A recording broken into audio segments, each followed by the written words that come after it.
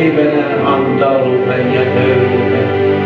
Hyvän hengen läsnäolo tämän päivänä.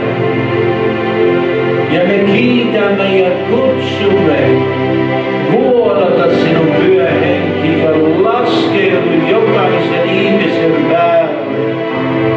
Ja siunaa heitä sinun armoasi ja täytä rakkaudella.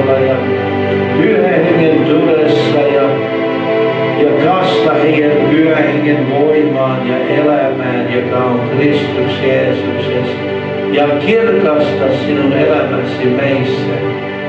Ja täytä meille Jumalan rakkauden voimalla ja saamme vapauden meidän sydämen ajatuksessa ja mielessä, että meillä on ylikyltäisen vapaus tänä päivänä.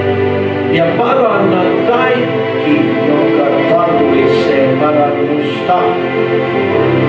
Jokainen, joka haluaa, Jeesus anna anteeksi minun syntini tänä päivänä niin ano ja sano, tässä minä olen Herra ja tuun niin kuin minä olen.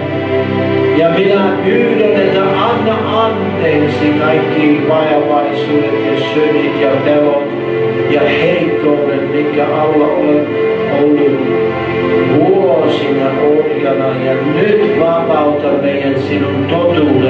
totuudellasi ja rakkaudellasi. Ja nyt te antaudu pyhä hengen voimalle ja, ja laulamia mukana, että minä